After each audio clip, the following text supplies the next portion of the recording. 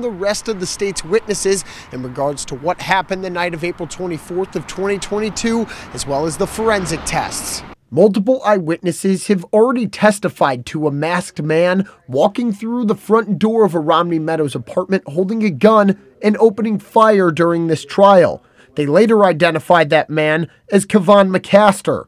News 18 previously reported the Lafayette Police Department found a car associated with McCaster. Inside, they found a mask and blood. Forensic DNA analyst Sean Sturr compared the DNA on the mask to Tommy Marshall, Edward Roberson, and McCaster. The sample was a mixture of three individuals, and the DNA profile is at least one trillion times more likely if it originated from Kevon McCaster and two unknown individuals than if it originated from three unknown, unrelated individuals. More eyewitnesses took the stand many of them testifying to the shots stemming from a fight happening inside the apartment that night.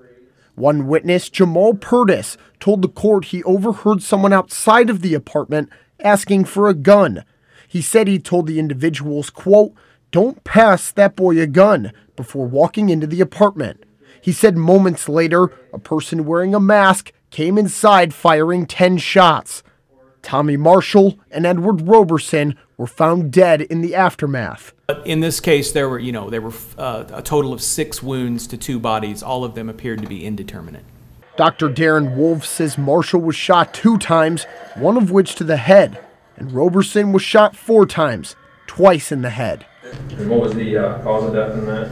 Multiple gunshot wounds. And what was the manner of death? Homicide. Reporting at the Tippecanoe County Courthouse, Vinny Martirano, News 18.